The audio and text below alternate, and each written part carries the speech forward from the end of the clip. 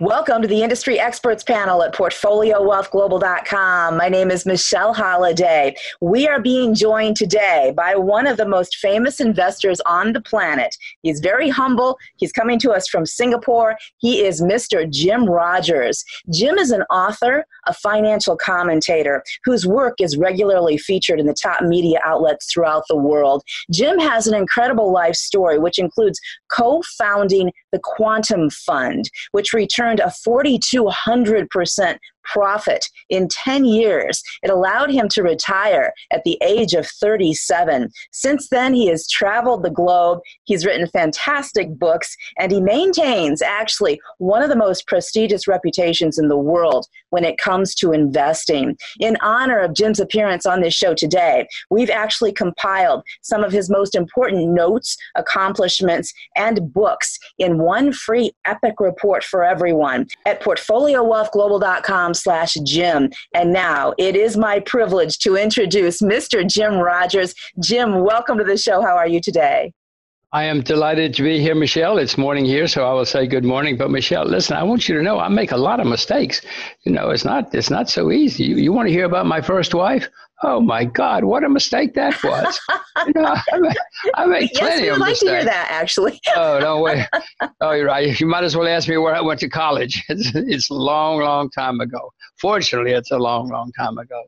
Well, we have followed your career and actually studied your career, and it is probably one of the most impressive that we have on file in our library, and we're honored to have you on this show today. Now, Jim, we want to start off with China. We know that you are much more familiar with China than most Americans are. The word communism is what many people think of when they think of China's politics, also of its traditions and its economy. Is that a correct depiction? Is that a term that would apply, or would you choose some other description for China? Well, first of all, using the word tradition, it, they've only been, they've been quote communist since 1949, so that's only 60 years, 70 years or so. They have centuries of entrepreneurship and capitalism, and they've been extraordinarily good at it at times. Yes, Mao Zedong came along and changed that for a while, and they still call themselves communist, uh, Michelle, but they're among the best capitalists in the world, if not the best capitalist in the world right now. That is very interesting that you say that because I've talked to actually two guests in the past month that said that exact same thing that there's some of the best capitalists in the world. And that's not something that typically Americans think of. Could you expound on that in relation to China? In 1978, a guy named Deng Xiaoping, who was the leader, said, We've got to try something new. Mao Zedong had put him in jail. He, first of all, he'd been Mao Zedong's great ally. Then Mao, Mao put him in jail because he was saying strange things like, We better try something new. And he started opening up China. He said, quote, um, you know, I don't care if it's a black cat or a white cat, as long as it catches mice. We need to catch some mice in this country. And he started opening up, and they have been the most astonishing country in the world in the last 40 years. They've opened up. You know, everybody knows now that the GDP is the second largest in the world, second only to the US, et cetera, et cetera. Uh, when I first went to China in 1984, it was still a backwater now, I mean, they've got the best infrastructure, the best airports, best best of many things, and it continues to grow. Now, Michelle, having said that, there will certainly be problems in China. I don't think I'm sitting here saying that this is some kind of a nirvana. You know, in America, we became the most successful country in the 20th century, but along the way, we had 15 depressions. We had a horrible civil war. We had massacres in the streets. We had very little rule of law. So China will have many problems along the way, just as we did. But I'm teaching my children Chinese. In today's structure, it's very interesting that you just mentioned that, that you're teaching your children Chinese. Coming from your background as an investor, what do you think the best intellectual skills are right now to teach children in today's world? Curiosity. Uh, I'm trying to teach my children to be curious and to think independently, which is very difficult. Most people just go on the internet or the TV and they say, oh, the sky is blue.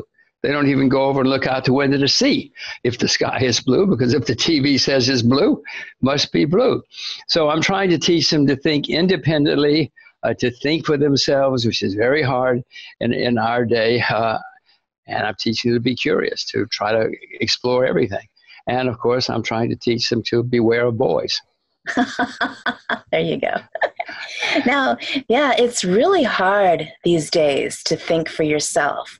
There's so much pressure to think the way that everybody else thinks, or else you're going to be punished. I don't know. You're in Singapore right now. I don't know if you've heard about the most recent event in Hollywood. We have several very prominent actors and actresses, one of them, Debra Messing, who has called for a list of people that vote in a certain way so that everyone will refuse to work with them. That was the bottom line of the point. And it's so absurd, Jim, in, you know, what's supposed to be a free country with free thought and free votes and free speech. And the most important thing about our country, being a free country, is to stand up for other people's right to have opposing opinions. I might not agree with you, but my most important premise is that you have a right to say whatever you want to say because it's America. Speak on that to us. Well, I certainly agree with, with that point of view. That's what America used to be all about. It's becoming less and less like that. Uh, many people in America think you should not be allowed to say what you want. Uh, there are even people who say, I live in Singapore. There are people who say, I cannot live in Singapore. I'm an American. I have to live in America. I said, when did that happen? That's what North Korea says. That's what Cuba says. But there are many Americans who are starting to say things like that. You cannot say that, whatever that is. You cannot live there, even if you want to, if you're an American citizen. You cannot invest there because we say you cannot. So, no, it's, it's America's closing off. I certainly don't like to see it. As you've said, I've driven around the world a couple of times. I'm very keen on the world. I've been investing around the world for 50 or 60 years. So I'm very, very keen to be a citizen of the world, as a great Frenchman once said, Voltaire. So, uh, yeah, it, it's not good for America. Many countries are doing it. China's starting to do it some as well, you know, and, and great ideas come because people get exposed to strange nuts who say the strangest things. You know, we, but we had, uh, what was his name? Patrick Henry in 1775 saying strange things like, give me liberty, you know, and there were people in, in America in the 1770s saying the wildest things like, we want to vote, you know, but because of those strange things, and those were very strange things in those days, uh, America changed people said strange things about the internet, you know, but because of that, fortunately, we have the internet. In fact, you and I could not be talking now if we didn't have the internet because some strange teenagers went into the garage and started saying strange things and doing strange things. And here we are, not just in America, all over the world. Yeah, opposing opinions. It's what creates creation. If everyone's the same, you have a robotic situation that creation is basically eliminated from. Well, and they are now trying. There are people trying to to control the internet as well. I mean, in China, America, many places they are. As far as I'm concerned, let a thousand blossom to bloom, because some of them will be nuts. But that's how we make progress, dealing with strange ideas. Right. Right. I want to let everyone know that um, when I first started off this interview with Jim, I uh, introduced him as one of the most prestigious investors that the world has ever seen. And he stopped me. And that's why I said, you know, he's very humble and we actually started over.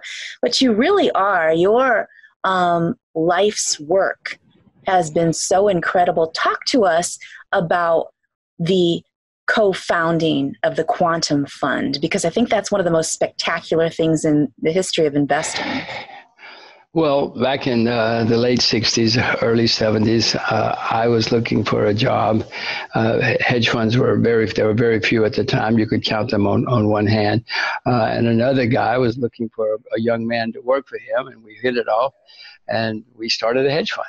Uh, we were actually working at a hedge fund, in fact, for another a big company, a bigger company.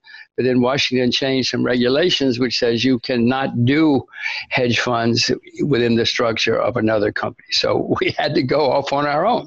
thank goodness for bureaucrats making mistakes with unintended consequences. So off we went. There were two of us and a, and a secretary in a little office, and well, we had to make money or go out of business. And so we both loved what we were doing, and uh, I, I, I wouldn't, I didn't want to do anything else. It was so much fun. So off we went, and we had a, a few successes. A few successes. Yes, you did, sir. Um, to put this into context, your partner was George Soros, correct? Yes. And yes, yes. Um, for for over that ten year period, you struck probably the biggest gains ever known as 4,200%. Were you inspired to do that, or did, did you follow some sort of um, tactic? Talk to us about the thought process. Michelle, I just loved what I was doing and was scared to death. I knew if we didn't do it right, we'd go out of business. I mean, there were two of us in the room with all this money. And if we didn't get it right, the money would leave, and we'd have to leave too. But I happened to love what, I was doing. It was just it consumed me. Uh, he was he loved it too, and obviously he was good at it. So we've had, a, as I say, we had a few successes. But that's that was so much fun for me. I, I, couldn't imagine doing anything. It wouldn't have had to pay me. Fortunately, they did. I, I couldn't work for free because I didn't have any money. But I would have done it for free if I could have afforded it. That's so extraordinary because they say the things that you do best are the things you would do for free. Really? Yeah, the things you love. Yes, when you fo- people who follow their passions usually are successful, and even if they're not successful, they don't care because they're happy. You know, happy people don't care if they have 16 cars or not. Right. I think that's a key to life. If you're happy, who cares? That really is. okay, now shifting gears back to the economy, sir. Since the year 2000, when the S&P 500 traded at 1500, it has doubled, um, not including dividends. And this has been, though, one of the worst 19-year stretches in its history. And since it bottomed out in 2002 at 800 points, it has not even gone up by 400%. However, it's been rising consistently over the past 10 years. When you adjust for alternatives, the earnings yield is still much higher and better than bonds. So, Jim, in your thought process, can this bull market last another decade, given the fact that the main buyer throughout all of this has been corporate buybacks? You mean the stock market, bull market, the U.S. stock market? Yes. Uh, well, the United States stock market has now been up 11 years uh, without a, a, bear market. That has never happened in American history. Michelle, there's no reason it can't be 111 years without a without a bear market, but it never has. It never has before in history, and most countries around the world have the same kind of uh, statistics and, and history.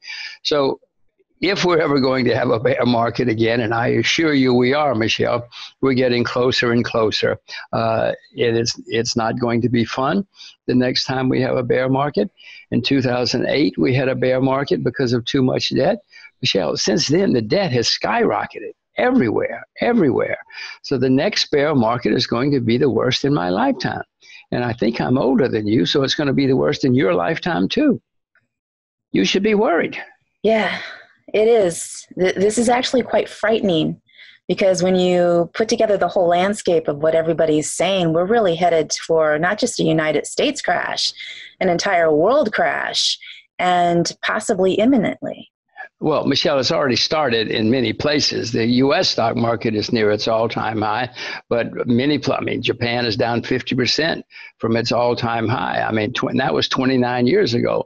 But more currently, you know, the very Germany's down. Most stock markets around the world are, have started into a bear market. It always starts where we're not looking in 19 I'm sorry in 2007 it started in Iceland when they went bankrupt but nobody cared or even noticed but then Ireland went bankrupt and then oh my gosh Bear Stearns went bankrupt and a few weeks later months later Northern Rock went bankrupt in the UK and the next thing you knew Lehman Brothers went bankrupt. Well, by then it was on the evening news. And by then everybody knew, Michelle. But it starts that way and it works its way through small places nobody's looking at. It's already happened. Latvia's gone bankrupt. Indian banks are having trouble. Argentina's having serious problems. I can go on and on. It's already started, and very few stock markets have been strong recently. And because everybody's so interconnected, when one starts to fall, it's going to affect everybody else. Well, you're talking about 2019. You're exactly right. But even before, you know, in the 19th century, there'd be bear markets in London that would affect New York. So it's it's always been that. It takes longer, and it's been less connected in the past. But it's we're getting more and more connected. You're right. Mm. If now, the bear market, if if suddenly tomorrow the German stock market collapses, we're all going to know within two minutes you know, maybe a hundred years ago, it would have taken us uh, two weeks to find out. Now we're all going to know immediately. Instantly. Now, sir, Steve Bannon compared the trade war taking place right now between President Trump and China with President Reagan and how he dealt in the days of the USSR. Bannon says that the notion that the United States is a declining empire is false, and that there is no reason that the US would lose its status as a dominant world economy, but that it still must make changes. Of course, the Chinese do outnumber the United States in population by four to one. But, Jim, is that enough of a reason to cite them as a bigger world power in the 21st century than the United States? Well, they do have the second largest economy in the world now. They are the largest population in the world. They have a very large geographic area. They're the same size as the continental uh, United States. So they certainly are changing and growing. China is the only country, Michelle, that I know of that's had recurring periods of greatness. Great Britain was great once, Rome was great once, Egypt was great once, but China's been the absolute top three or four times in history. They've also collapsed, total collapse, three or four times in history. But they're the only ones who turn around and rise to the top after a few decades or a few centuries. In my view, it's happening again, whether we like it or not and there will be setbacks along the way. Don't worry. Uh, Mr. Bannon says the U.S. is not not in decline. I think was the way you put it. Uh, well, I don't know. History will judge, but I do know America is the largest debtor nation in the history of the world. No nation in world history has ever been this deep in debt, and the debts are rising every day, every second, every hour. You know, things are getting worse. Uh, I hope we're not in decline. I'm an American citizen, taxpayer, voter, as are my children. So I hope we're not in decline, but the facts would indicate that countries in the past that have gotten into this dilemma have had crises or semi crises. But I hope Mr. Bannon's right. I hope he's smarter than, than I am. Yes. Now you are an American, and Jim, you, you grew up in a small town in America, and you've built such an amazing life. And I want to remind everyone that they can take the opportunity to download our free overview of Jim's work at portfoliowealthglobal.com slash Jim. Now, Jim, I want to take a moment right now to shift to the central banks. The main question is Are these institutions fit to handle the roles that they've been given because we are now in enormous economic problems. What is the root of this problem? Because the whole planet is now drowning in debt. Are these problems coming from governments? Of course they are, Michelle. I, I, don't know about you, but I doubt if you're anywhere near as in debt as the United States government oh. and our states. and our, I mean, percentage-wise, percentage-wise, or our states or our uh, cities around the world. But it all comes from the mainly from the U.S. central bank. I hate to say it, but you know, 200 years ago, or even 30 years ago, very few people in America could have named the head of the central bank or even would have known what it was. Now, of course, the head of the central bank becomes some kind of godlike figure. He must know everything. He's the head of the central bank, he's the head of the Federal Reserve. Michelle, these guys are just bureaucrats and academics who usually couldn't make it in the real world, and so they get government jobs. That's why they're working for the government. And they don't have a clue what they're doing. They, we all think they do. I, many people, the TV and the internet, think, oh my gosh, he's head of the Federal Reserve. She's head of the Federal Reserve. She must know everything. They don't know anything. They've gotten us into deep problems now. The balance sheet of the central bank in America has gone up five or six times in the last 10 years. I mean, that is that sort of thing has never ever happened in world history anywhere in the world. Interest rates are the lowest they've been in world history, driven mainly by the American central bank. That's where it started. I mean, everybody, all the other central banks jumped in like they know what they're doing. The Japanese have said we will print as much money as necessary. I mean, that's what he guy said. He's not making. I'm not making this up, and he's doing it. Every day, the Japanese central banks prints money and buys stocks or ETFs and buys bonds. I mean, this is madness. This has never happened. Uh, world in world history, you know, America's had three central banks. The first two disappeared, fortunately. Well, this was going to disappear too, because they keep making such gigantic mistakes and they keep running up such huge debts. They're getting the rest of us, the rest of the world, not just America, deep in debt. So no, this is going to end very, very, very, very badly. I mean, you should you you should watch Michelle Holliday and find out what's going on. If you watch, you'll get worried. You'll get knowledgeable first, then you'll get worried, and maybe you will take actions to protect yourself. Because the American Central Bank is not going to save you; they're going to be out of business themselves. It's just incredible. You know, we just had Gerald Celente on this show, and he talked about the trillions that are being, but they're not even being printed it's just digital money. Well, they, okay. they stack up trillions and trillions of digital money and then it, they call it our debt. You know what I mean? And that's just so absurd. I hate to say it, Michelle, it is our debt, whether we like it or not. As long as we're, but it's not just Americans because everybody, everybody in the world is now running up gigantic. Well, North Korea is not, nobody will lend to North Korea, but just about everybody else in the world is running up huge debts.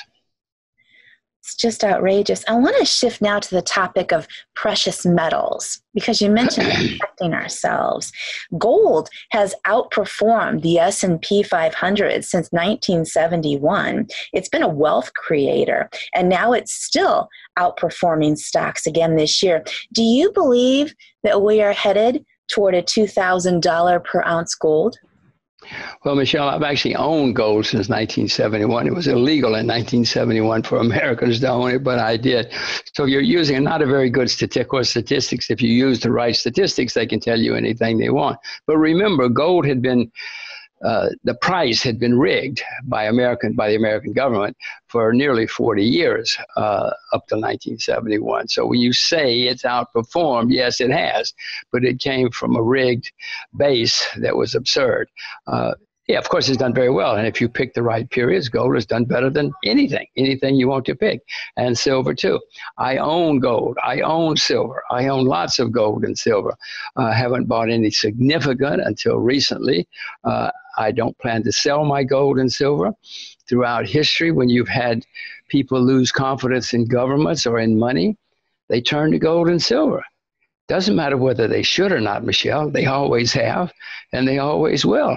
So I'm just a French peasant. You know, I own gold. I've got it hidden away, and I will be buying more as the situation deteriorates. Yes. So that's one of your biggest, um, probably safety nets that you could suggest. Well, I own a lot of gold and silver. Well, you can ask me in 10 years whether it was a good safety net or not, but that's what I own now. I own other things too, but, but I certainly own gold and silver. My children own gold and silver. Now, Jim, in the coming months, it appears that financial entitlements in the Western world will force our governments to meet obligations, facing the risk of inflation due to excessive currency printing and devaluations, or to cut the entitlement programs such as Social Security. But 90% of our elder population will not survive without Social Security. So, Jim, what is the best way to overcome these challenges? And what do you feel is the best way to prepare in case they do go south? Well, everybody, Michelle, has to do what they know best. Uh, I will constantly tell people you should not listen to people on the internet. Well, maybe Michelle, but don't go on the internet and think you're going to find safety and wisdom everybody should only invest in what they themselves know about. If I told you to, to buy silver and you have no idea what silver is or where to buy it or how to buy it, don't buy silver because some guy said it on the internet. If you become knowledgeable and if you know what you're doing, then maybe you would do what many people have throughout history. You would learn about gold and silver. You would learn about ways to protect yourself. But the only way you're going to come through the next problem is to know what you're doing, to know why you did it, and what the consequences are. If you listen to somebody else and things go wrong, you don't know what to do. You don't know why you're there in the first place. So please don't listen to me. Don't listen, well, maybe Michelle, but don't listen to most people until you yourself know what you're doing. Yeah, I own a lot of gold and silver, and will continue to buy gold and silver. But you may find something better than gold and silver. What's if you do, if you do, by the way, send me an email. I want to know what it is. Share it with everybody, right? Yes, yes. For everybody. Now, I'll um, do my homework. what are your thoughts on cryptos? Well, they're all going to disappear. Uh, money is going on the internet. There's no question that all of our money will be internet. It's already. I was trying to buy an ice cream in, in China the other day. The poor woman couldn't sell me an ice cream. I had money. I had Chinese money. She couldn't take money because she could only take uh, internet money. So she gave me the ice cream in the end. She felt sorry for this this old fool who who only had money. So money is going to be on the internet. It already you can't take a taxi in China with money. You know everything has to be on the on your phone, and I, I have it now. Uh, so money is definitely going to be on the internet. Countries, country, companies are trying to figure out a way. Is it going to be cryptocurrency? No, they're all going to disappear and go to zero. Really? Now let's stay with this topic. Now, Was are you unclear? no, no, no, no, no. You have my interest way, way up, peaked. Um, so you're predicting Bitcoin and everything else that falls under that category is simply going to disappear. Expound on that for us, sir. I must have been unclear. No, no, uh, many, many, al- many, al- many already have you know that hundreds of these things have already disappeared. Um, it's it's wonderful, and the and the crypto guys say we're smarter than the government, and they are. There is no question they're smarter than the government. But the government has the guns, Michelle, and well, in the 1930s, before that, people used to use anything they wanted for money: seashells, gold coins. Uh, banks could print their own money if, as long as people would accept it. So they used anything. The Bank of England, which was the most important central bank in the world at the time, said, okay, guys, from now on, it is an act of treason, an act of treason if you use anything for money except our money. Guess what? An act of treason means they execute you. So people stopped using seashells, sugar cubes, gold coins, and everything else. And so that's what's going to happen again. Yes, the money will be on the internet, but it's going to be their money. Now, as I say, the crypto guys are smarter and maybe some of them will continue. But most of us don't want to be executed for an act of treason, so we're going to use government money. I'm not happy about this, Michelle. I wish we could somehow get rid of government control of money, but there's been no time, few times in world history when government money did not come to prevail. Maybe short periods, other things, but no. So you believe that ultimately the Bitcoin and everybody that owns it will simply be locked out of actually utilizing it. It's going to disappear. It's going to go to zero. When the government says you can't use it, who's going to use it? Maybe you, maybe Sam, maybe Mary, maybe Bob, but the rest of us are going to use government money on the computer. Now, it may be, I mean, maybe somebody like JP Morgan, just a, bank X, will come up with a way to use money on the computer, but it's going to be officially recognized, accepted money, or it's, you're going to go to jail. And by the way, Michelle, this, this does not even get into the possibility that the, the internet system goes down, electricity goes down. You know, there have been many times in history when you have a crisis, turn on the light switch, nothing happens. you know, there have been uh, periods, prolonged periods in some countries, in some cases, when the whole infrastructure just doesn't work.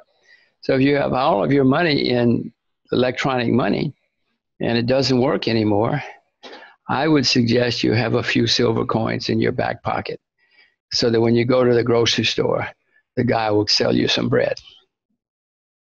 That is such an interesting perspective because so many people believe that cryptocurrency is the future. The independent, decentralized cryptocurrency is the future, I should say. Oh, right. I make many mistakes. I told you about my first wife.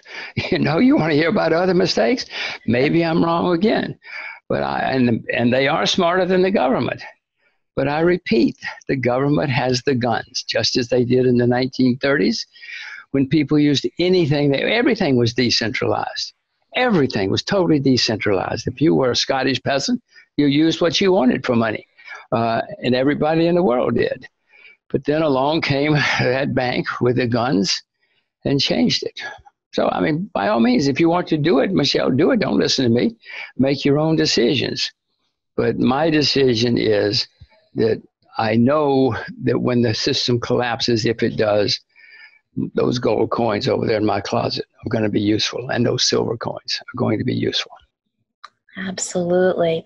I want to touch back real quick before we go on something you spoke of, because as an American, um, you're living in Singapore, and um, and myself being American who's never been to Singapore, you spoke of the fact that they don't take cash at all for anything. Everything's done on the internet. That was in China. It was not in Singapore. Oh, okay. Singapore, Singapore is moving that. Well, Singapore is moving that way, but China is far, far ahead of most of the world in electronic money. Okay. It was China. Now, um, this brings to mind for me that a good portion of our population, indeed throughout the world, are unbanked. They use cash, they use coins, they have no internet access, they are cash citizens, you know, the poorer people. What happens to that portion of the population in that circumstance? Well, they're not going to have Bitcoin if they don't have a computer. You know how they, they it's not going to work. Uh, that's why I would suggest that most of those people save some silver coins or silver something uh, or gold, and, and when they need it, they have it. Uh, I don't know what's going to happen in the world. I do know we're going to have more crises. The world has always had economic crises and political crises throughout history and will again.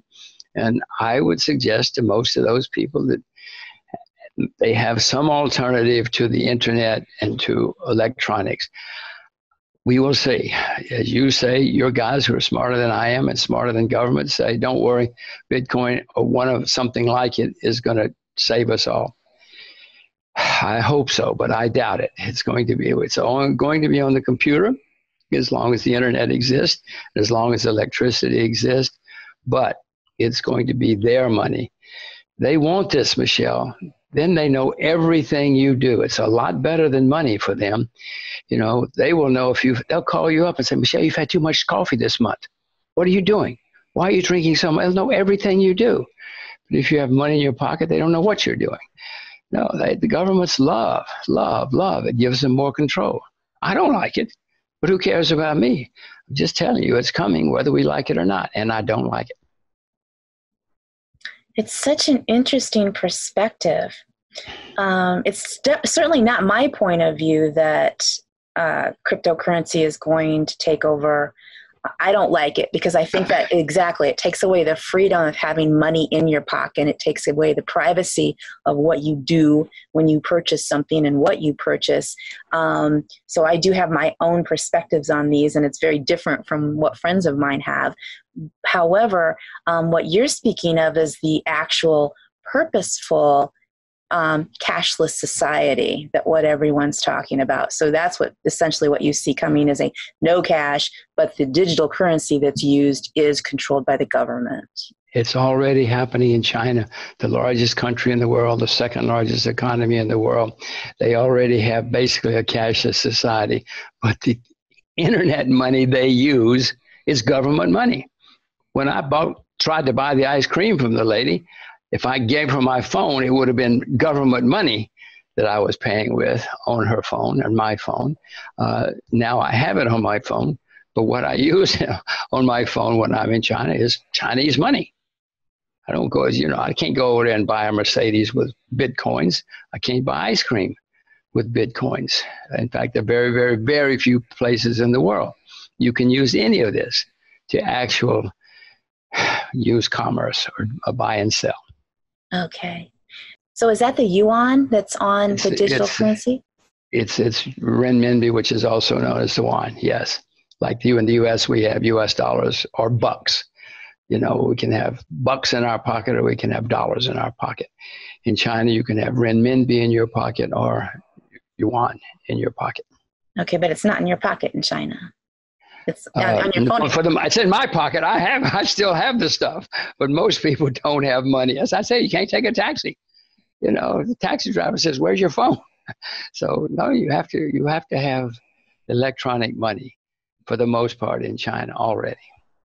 I just find that a fascinating topic, and I'm sure many of our viewers will too, because we don't realize how far digital has gone. And actually, I mean, it, a cashless society scares me.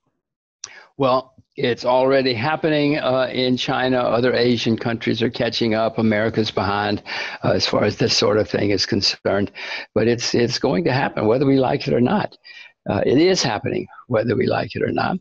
And as I say, maybe it's going to be government money. It already it is government money in in China. I don't think the Chinese are suddenly going to say, "Okay, guys." Now you use Bitcoin if you want to instead of our money, any more than the English in 1934, whatever year it was, said that. They said, you got to use my money or you're going to prison or going to be executed. So the bottom line is the USD, the yuan, whatever it is you're using, it stays that currency. However, it becomes entirely digital. It will be digital, yes. But I would urge you to have something else in your pocket or in your closet in case. Everybody should have a plan B. And throughout history, gold and silver have been the plan B, whether we like it or not. You know, poor peasants like me for thousands of years have turned to gold and silver in emergencies or when we had to. And we will again. To go out of my closet pull out some silver coins and go go buy a beer. If you come to Singapore, I'll buy you a beer. Well, I'll buy you tea. I'll buy you a cup of tea uh, okay. if you come to Singapore. But I have the money in the closet. Don't worry. Jim, this has been an amazing interview. Please mention also where to find your books. Yeah, well, my books, you can go to my website, which is jimrogers.com, but you can also go to Amazon. They, they'll sell you my books better than, than I can. Uh, you know, I have some books, yes, but I don't have anything to sell. Thank you so much for coming on this show today. It's been my delight. When you come to Singapore, I'll have enough money in the closet to buy you tea. Okay, okay. that's a plan. Thank you. Okay. bye bye. Bye bye. Mr. Jim Rogers, international investor, author, and commentator, whose exceptional work is profiled in our exclusive report at portfoliowealthglobal.com slash Jim. For the industry experts panel, I'm Michelle Holiday at portfoliowealthglobal.com.